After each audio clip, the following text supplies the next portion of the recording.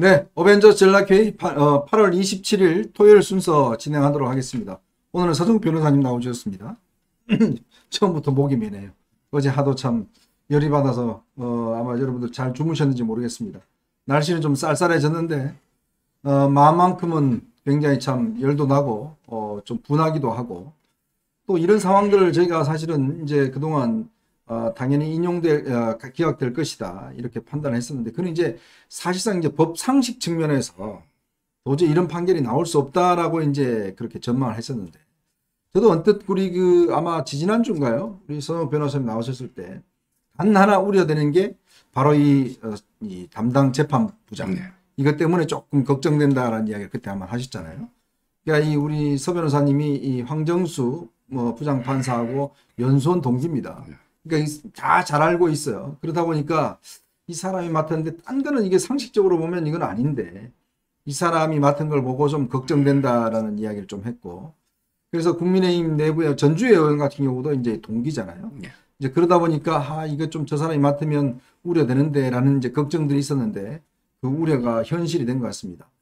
우선 뭐 그동안 이게 참 못, 맞추지 못한 것에 대해서는 여러분께 한번 다시 한번 죄송한 말씀드리고 저희가 어제 유튜브에서 저희가 이제 판결 나자마자 이걸 전해드렸다 보니까 일부 이제 현장 기자들이 이제 요약본을 정리했는데 이게 조금 잘못 정리가 된 측면이 있습니다.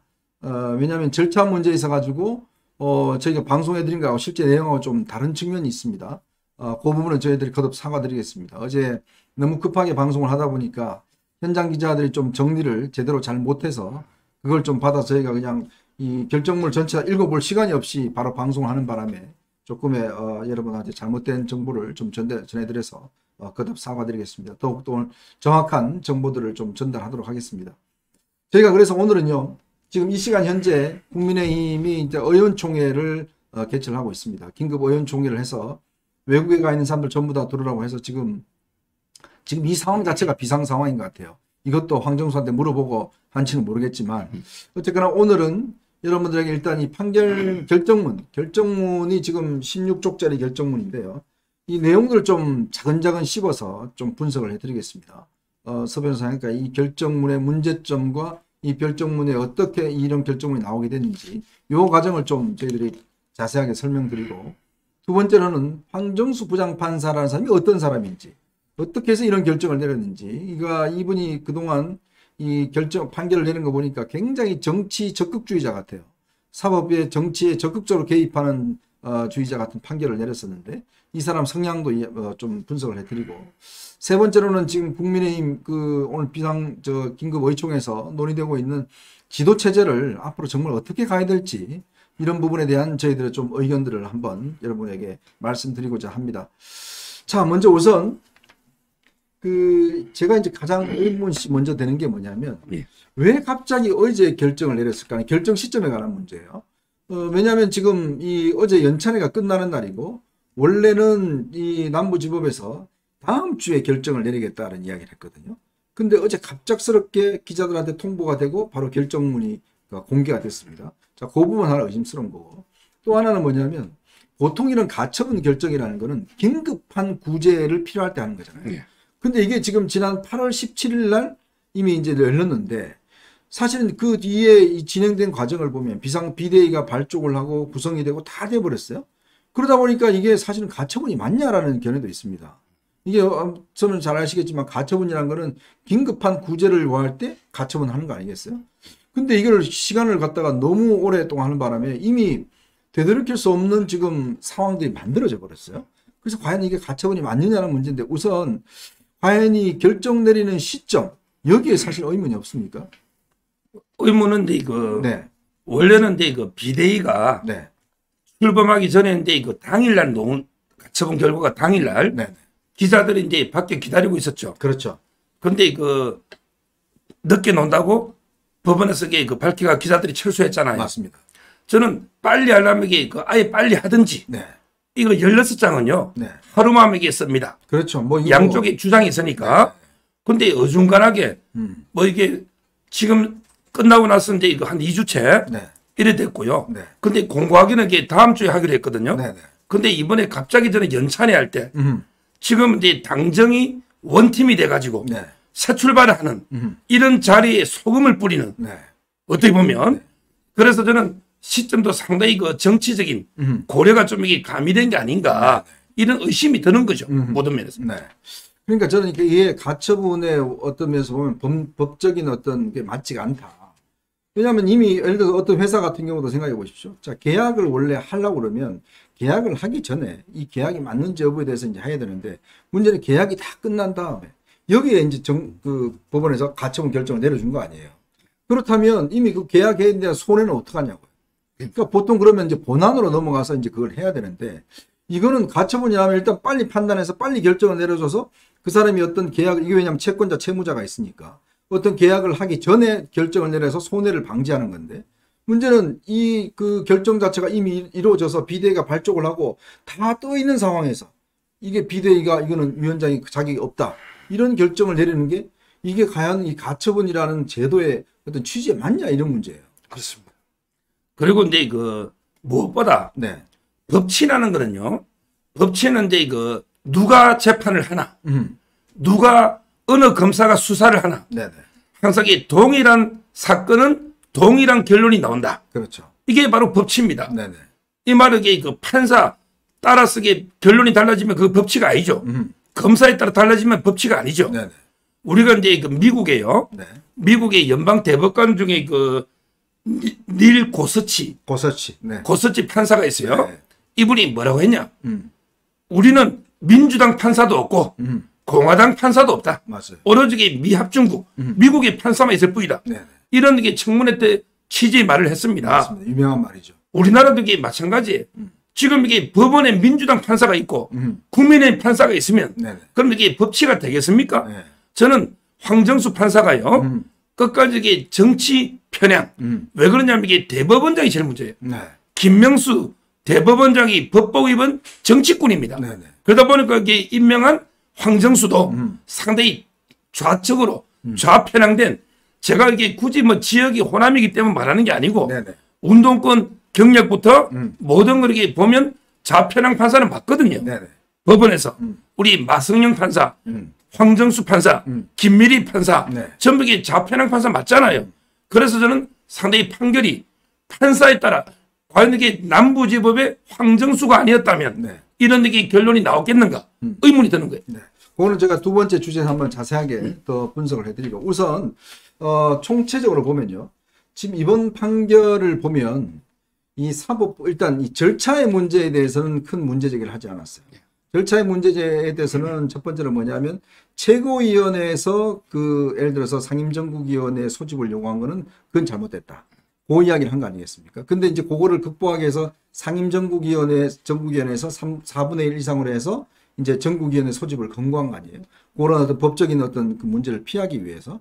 자, 그렇게 이야기했는데 이 지금 이번에 보면 최고위원회가 이게 이거 의결하는 것 자체가 잘못됐다. 근데 뭐냐면 최고위원회가 한 명이 남더라도 최고위원회를 보충하면 된다. 이런 이야기를 이 저 황정수가 이야기를 하고 있더라고요. 네. 그런데 최고위원회라는 게 지금 우리가 보면 최고위원회가 무너진다든지 대표가 고리된다든지 이런 상황에서는 비상대책위원회를 하기로 돼 있지 않습니까? 근데 최고위원회가 기본적으로 어떤 면에서 정치적으로 보면 과반수가 무너져서 실제로 이제 가동이 안 될 때는 실제로 이게 어떤 면에서 보면 그 의미가 없는 거 아니에요? 이, 이제 이, 어, 이 역할을 못 하는 거 아니에요? 음. 근데 이 황정수 의원은 그게 아니라 무너졌으면 보충하면 된다. 이렇게 이야기를 했는데 이걸 어떻게 봐요? 그래서 이제 이거 제가 황정수 판사인데요. 네. 다른 게 방송에서 세 가지를 질문을 했어요. 네. 황 판사인데. 음. 자, 첫째. 만약에 대법원장이 음. 대법원장이 김명수가 성상납을 받고 음. 증거인멸 교사를 해가지고 네. 6개월 직무정지가 됐다. 네네. 네. 그럼 이게 비상사항이냐 아니냐. 어. 이렇게 제가 물었어요. 네. 자, 누가 봐도 이게 대법원장이 성상납받아 6개월 정직이면 음. 이게 뭐 권리든 음. 사고든 떠나서 이게 비상사항이 맞죠. 음. 그 다음에 두 번째. 음. 그래가지고 이게 대법관들이 줄 사퇴를 해가지고 네. 대법관들이 한두 명 남았어. 음. 13명 중에 다 사퇴하고. 네. 그럼 이게 비상사항이냐 아니냐. 네. 이게 저 두 번째 물었어요. 어허. 이것도 누가 봐도 비상사항이죠. 음. 자, 마지막으로 사법부의 모든 판사가 비상사항이라고 음. 의결해가지고 음. 대책을 세우는데 음. 근데 갑자기 국회에서 어, 비상사항 아닌데 너 왜 제동을 걸면 네. 이게 상권 분립에 맞느냐 말이에요. 음흠. 안 맞잖아요. 네. 이세 가지를 황정수 판사에게 대답해 보란 말이에요. 네. 저는요, 이준석이가 6개월 음. 다음권 정지 이 자체가 벌써 비상입니다. 음, 당 대표 아니 당 대표가 성상납으로 네. 6개월 정지인데 음. 이게 거리 사고를 떠나 비상상은 맞잖아요. 네네. 그리고 이게 최고위원들이 줄 사퇴를 했죠. 음. 그때 결국 김용태 빼고 다 사퇴했잖아. 네.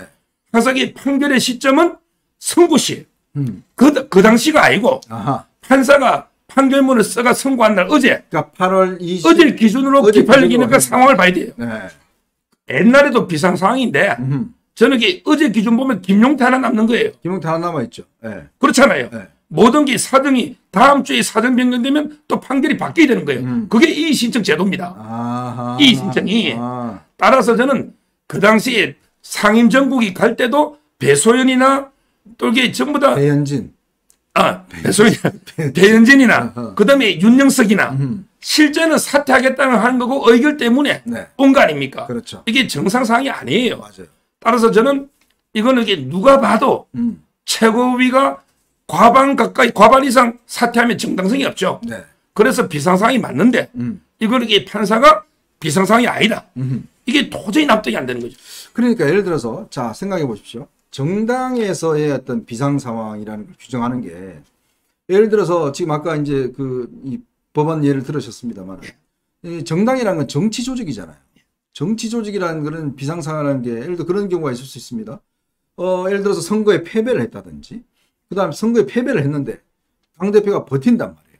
뭐 버틸 수가 있는 거죠. 버틴다든지 그다음에 지지율이 급락했다든지 뭐 이런 등등의 상황들을 판단해보고 정무적으로 아 이게 우리가 지금 비상 상황이다라고 하면 그 다음에 그 국회의원들 전부 다 모여서 자 이게 지금 우리 상황이 어떻습니까? 이게 비상상 맞습니까? 라고 이야기하면 다들 오 비상상 맞습니다. 자 그 다음에 상임정국위원회 모였어요. 자 이게 비상상 맞습니까? 오케이 이 의원총회에서 이야기했던 비상상 맞습니다. 그럼 우리 비대로 갑시다. 라고 하는 거는 거기에서 상임정국위원 그 다음에 국회의원들 다 어떤 집단 지성에 의해서 판단하는 거 아니에요. 그렇습니다. 그런데 지금 이 판사의 이야기는 내가 볼 때는 비상상황이 아니다는 거잖아요. 그러니까. 그러면 아 네가 그러면 정당 해라. 네가 정당 대표하고 정당에 들어라. 아, 판사 그러면 아예 그냥 남부지법이 그냥 저, 저 국민의힘 정당으로 가든지. 그러니까 이게 저는 이해가 안 되는 게 뭐냐면 그러면 남부지법이 왜 그러면 이 국민의힘의 비상 상황인지 아닌지를 어떤 기준으로 판단하느냐. 과연 판단할 수 있느냐. 저는 가장 근본적인 문제가 거기 있다고 봐, 이번 판결은. 그렇습니다. 예를 들어 이제 이거 황정수 판사는요. 네. 정의당 지지층일 거예요. 음. 왜냐하면 이게 노동운동 하니까 네. 아니면 이게 민주당이나 정의당이겠죠. 음. 국민의힘에는 일, 일말의 애정이 없을 겁니다. 네. 관심도 없고. 음. 그러니까 이제 그 국민의힘을 외부에서 보면 음. 야 이게 무슨 비상이야. 음. 이래 볼 수도 있죠. 네. 그래서 제가 어제 TV에서요. 네. 일개 판사가 음. 그것도 국민의힘에는 아무 관심도 없고 음. 정치도 모르는 음. 이런 게 한 명의 판사가 비상상이라고 판단하는 게 맞는가? 네. 아니면 이게 당의 주인들 음. 정말 국민의힘을 사랑하고 지켜온 음. 천 명의 정부 위원들이 있죠. 네. 이분들의 판단이 맞는가? 네. 아니 법은 판사가 법 공부는 조금 됐을지 모르지만 음. 이 비상이냐 아니냐는 위기의식은 음. 이거는 법하고 아무 관계가 없죠. 그렇죠. 오히려 이게 당을 사랑하는 만큼 위기를 느낍니다. 음. 저는 제가 볼 때는 이게 엄청난 위기란 말이에요. 음. 보수가. 음. 그런데 천 명의 정국위원 판결, 판단보다 네. 한 명의 일개 판사 판단이 우선한 게 맞는가? 네. 이렇게 저 어제 TV에서 네. 직격탄을 날렸지만 아. 저는 법리 해석이라면 우리가 존중하지만 음. 이거는 법리가 아니거든요.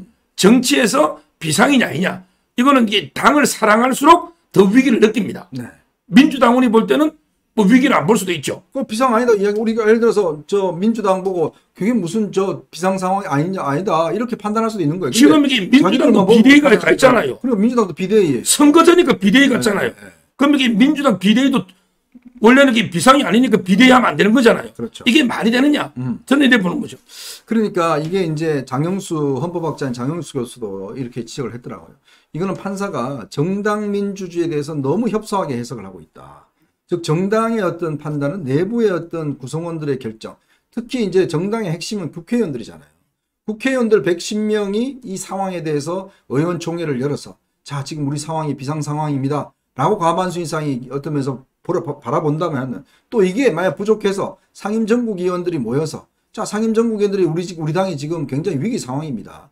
정치란 게 그렇지 않습니까? 현재 상황으로는 위기 상황이 아니라 보이더라도 옛날 김종인 비대위가 마찬가지예요. 자 김종인 위원장 올 필요 없죠. 내부적으로 하면 되는데 문제는 아 그래도 안 된다. 이게 비대위로 가서 뭔가 당의 획기적 변화를 일으켜야 된다라고 판단하면 그건 비상상황으로 판단할 수 있는 거잖아요. 그렇습니다. 비대위 판단할 수 있는 거잖아요.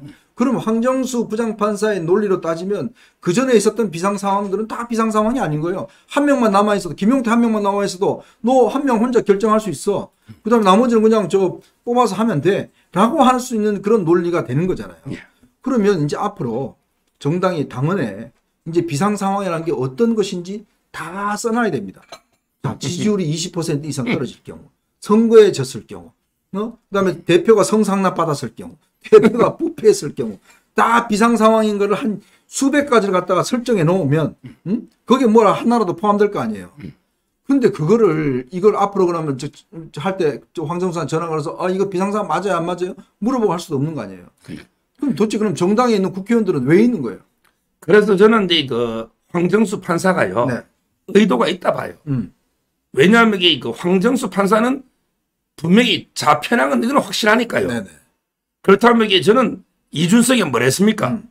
결국은 이제 그 국민의힘을 불태우겠다 했잖아요. 네. 따라 저는 황정수가 음.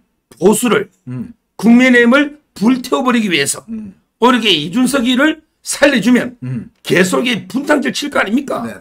미꾸라지 한 마리가 음. 온 데게 물을 흐리듯이 이준석이가 계속 이 분탕질을 친단 말이에요. 네. 그래서 저는 이준석이를 살려주기 위해서 음. 의도적으로 결론을 내려놓고 음. 근데 예를 들어 이게 절차하자가 있다. 음. 이래 버리면 어떻게 돼요? 그러면 이게 절차만 거치면 절차만 거치면 또 그대로 갈 거 아니에요. 네네. 그러니까 근데 오히려 절차하자는 없고 음. 실체가 잘못됐다. 음. 이러면 이게 비대위는 바로 못 가잖아. 못 가죠. 오히려 저는 이런 식으로 이게 그 이준석이를 도와서 음. 보수를 자유파 국민의힘을 불태우기 위한 음. 이런 게 정치적 의도의 판결이 아닌가 이래 그래서 이제 이게 우리가 우리 어떤 일방적인 주장이 아니라 이 지금 이 판결을 결정을 보고 있는 이 다수의 헌법학자들도 똑같은 이야기를 비슷한 이야기를 하고 있습니다. 왜냐하면 이 사법부가 과연 정치의 문제 어느 정도 개입할 수 있느냐 에 대한 이제 문제거든요. 만약에 황정수 지금 부장판사처럼 개입을 하게 될 경우에 정당의 사사로운 절차도 전부 다 이제 앞으로 이제 다될 거고 대표적으로 지금 민주당이 이제 당헌 그 80조 개정안 올렸잖아요. 근데 이 과정도 다 무효입니다. 따져보면. 그렇죠. 왜냐하면 이 기준에 따르면 왜냐 자 이 두 개를 합쳐서 당헌 80조와 당헌 4조인가요? 그 이제 권리당원 그 전원 투표가 최고 한다는 거 이 두 개를 합쳐서 전체 의견을 물었어요. 그래서 부결이 됐어요. 자 부결이 됐는데 일사 부재가 있잖아요. 예. 근데 두 개 중에서 하나만 떼고 하나만 다시 살려갖고 다시 이 원래 요걸 하나 딱 올리려면 5일이 걸려야 되는데 공고 기간이 예. 긴급 상황이라는 이유로 요거를 금방 다시 올려버렸어요. 그래서 이제 어제 통과됐지 않습니까? 54%로. 네. 자, 그럼 황정수의 지금 부장의 논리에 따지 보면 자, 이거는 긴급 상황이 아니다가 판단할 수 있는 비상이 아니다 판단했으니까 내가 볼 때는 이거 긴급 아니다. 왜냐? 지금 이, 이재명 의원이 기소된 것도 아니고 아무것도 아닌데 왜 이게 지금 저 이 긴급이냐 이거 이야기할 수 있는 거고 또두 번째 일사부재를 위반한 것이다. 왜냐 두 개가 부결이 됐으면 두 개를 다 내릴 수가 없는 거예요. 그러면 뭔가 하나 고쳐야 됩니다. 그러면 이 두 번째 80조항을 뭔가 자꾸를 고치고 내용을 고쳐서 올려야 돼요. 네. 그대로 올리면 안 되는 거죠. 그죠? 그게 일사부재의 원칙이 아닙니까? 그렇습니다. 그러니까 똑같은 논리로 되면 그러면 나중에 이재명이 만약에 기소가 돼서 당 대표직을 유지한다. 그죠? 그렇게 되면 누가 가처분 신청하면 제가 볼 때는 황정수한테 가면 당연히 인정해야 돼요. 그거는 인용해야 돼요. 어, 그거는 이제 그 민주당이 확실히 잘못된 건 맞죠. 어, 어. 그거는 이제 그 공고를 5일 동안 해야 되는데. 그렇죠. 5일 안 했죠. 이틀인가. 네. 네. 그리고 이제 그 한 번 부결된 것도 맞죠. 네, 네. 일사부재의 음. 뭐 그런 데 다툼이 있는데 음. 제 말은 이제 그런 것도 그런 것도 이게 기본적으로 우리 헌법 8조에 정당은 이게 그 자율성하고요. 네. 그 다음에 내부의 민주주의, 음. 민주성 음. 이게 두 개 양대 축입니다. 네, 네. 정당은 자발적인 정치 결사체예요. 네. 그래서 이제 그 자율적으로 운영하는 음. 이 자율성이 생명이고 네. 그다음에 정당 내부는 민주주의라 해야 됩니다. 네, 네. 민주주의. 음. 그게 두 개인데 네. 저는 이런 식으로 이게 판결하다 보면 음. 앞으로 이게 공천도요. 음. 공천도 이게 판사가 다 하게 되는 거예요. 어, 그렇죠. 왜냐하면 이게 공천 기준이 다 있거든. 어, 있죠. 근데 지금까지 기준에 안 맞는 것도 음. 공천이 많이 됐잖아요. 음, 많이 됐죠. 이런 경우에 다 판사가 자료 내봐 내부 자료 네. 이걸 내 가지고 이게 이거 잘못돼서 잘못돼서 하면 판사가 다 공천하는 거지. 아니 뭐 공천 심사도 필요 없죠. 아 그러니까 가처분 다 해보면 되는 거 아니에요. 이 기준을 따지면. 이 기준 가면요. 지금 이제 좀 이따 하겠지만 음. 예를 들어 게 국민의힘이 뭐 정과는 안 된다. 음. 이런 게 당연히 있다 칩시다. 네. 있을 수 있잖아. 있죠. 자 그러면 이게 이재명이를 공천하면 네. 그건 이게 이재명이 정과 사범이잖아. 맞아요. 안민석이 정과 3범이잖아. 네. 다 있잖아, 정과. 음, 음. 최강욱이는 몇 개입니까? 네. 그러면 이게 공천하면 판사가 야, 최강욱이는 당의 위신도 떨어뜨리고 음. 정과자고 음. 이게 능력이 안 되는 이런 사람 왜 공천해서 네. 가처분 다 받아주면 받아주죠. 판사가 이게 다 공천해버리는 네. 이런 게 문제가 있는 거예요. 네. 그러니까 지금 이게 결국은 어 이렇게 돼버리면 이제 비대위가 과연 그럼 합법적이냐 아니냐 이 논쟁인데 말이죠. 지금 이제 이 그 황정수의 결정문에 따르면 일단 비상대책위원장만 직무를 정지시켰어요. 근데 비대위는 절차상 다 합법이라는 거예요. 그러면 비대위는 살아있다. 이렇게 이야기를 하는데 근데 앞뒤가 안 맞는 이유가 뭐냐면 아니 기본적으로 비상 상황이 아닌데 비대위가 되, 됐기 때문에 원천 무효 아닌가라는 거예요. 이, 이 결정에 따르면 그러니까 즉 비상 상황이 아닌데 비대위를 했기 때문에 이 비대위 자체는 원천 무효가 되는 거고 그럼 비대위가 없는 거잖아요. 근데 또 한편으로는 절차상으로는 맞다라고 이야기를 해버리면 그럼 어떻게 되는 겁니까? 비대위가 과연 합법적입니까? 불법적입니까? 그게 이제 이거 좀 이따 3부에서 할 문제인데 네. 지금 이제 국민의힘에서 해석할 때는요. 음. 해석할 때는 이제 그 주호영의 네. 직무만 정지가 돼 있고 네. 나머지 이제 비대위 출범까지 절차는 음. 다 이게 합법이다. 네. 그래서 이제 그 나머지 8명의 음. 비대위원들 있잖아. 음. 이 사람들에게 전국에서 의결해 준 거니까. 네. 그래서 이제 그 권성동이가 주호영의 직무 대행을 하고 음. 8명 나머지 비대위원 있잖아. 음. 이렇게 간다. 음. 뭐 이런 해석이 노는데 음. 법리적으로 보면 이게 그 아주 틀린 건 아니에요. 음. 예를 들어 기업에 이사가 9명 있다. 음. 근데 한 명이 직무 집행이 정지됐다. 네네. 그럼 나머지 8명이서는 유효한 거잖아요. 그렇죠.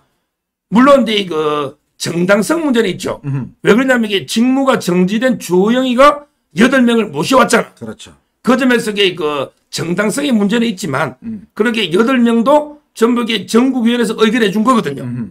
그래서 지금 오늘 의총에서 음. 그게 가장 핵심이 될 것 같아요. 네. 나머지 8명으로 가느냐 아니면 이게 새롭게 완전히 구성하느냐. 네. 이게 핵심입니다. 뭐 그거는 저희가 3부에 네. 좀더 자세하게 한번 이야기를 해보고요. 자 그러면 이제 이렇게 어, 이 판사가 보면 이제 이렇게 이제 결정을 내려버렸으면 이제는 이 신청이라는 제도가 있잖아요. 예. 이 신청을 할 수가 있는데 근데 이 신청하면 아까 서 변호사님이 중요한 말씀해 주셨는데 이 신청은 이 결정 자체에 대해서 다시 하는 게 아니라 그 시점에 대한 상황에 대해서 다시 들여다봐야 된다 이야기했잖아요. 그렇습니다. 그럼 어떻습니까 전망이? 그러면 이게 상황 변화가 있어야 되죠. 네네. 예를 들어 이제 이 신청했는데 네. 오늘 음. 오늘 이게 의원총회에서 권성동이가 사퇴해버렸다. 어허. 그러면 이게 완전히 이거는 음. 위기 이거는 뭐 비상 상황이 아니라고 말할 수가 없죠. 어, 그렇죠. 아무도 없잖아. 어허. 완전히 지도부 공백이죠. 네네.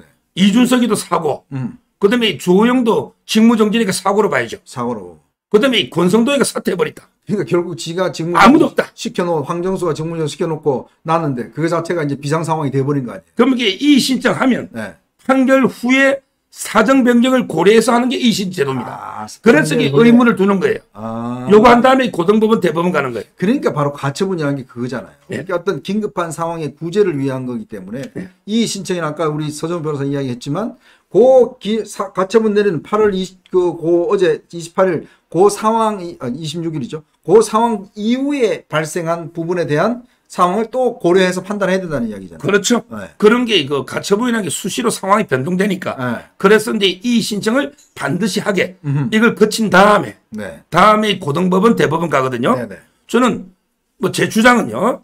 어차피 권성동이가 오늘 사퇴해야 된다. 네. 이런 데 입장이기 때문에 음흠. 그러면 이 신청했을 때 우리 판사한테 아니 이제는 지도부가 완전히 비상상 아니냐. 어허. 비대위 어. 이전에 못갈 이유가 없지 않느냐.